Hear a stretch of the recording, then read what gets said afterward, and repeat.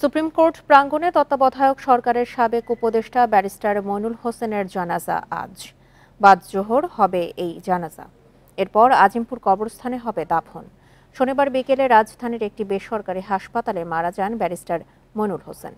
Automatic bKash করতে set করুন autopay. বিকাশ থাকলে আর কি লাগে? তার বয়স হয়েছিল চুরাশি বছর। ক্যান্সারে আক্রান্ত হয়ে দীর্ঘদিন চিকিৎসাধীন ছিলেন তিনি।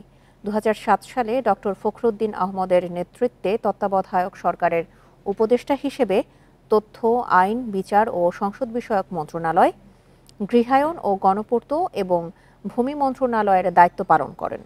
তিনি ব্যারিস্টার, তিনি সাংবাদিক তোফাজ্জল হোসেন মানিক মিয়ার বড় ছেলে।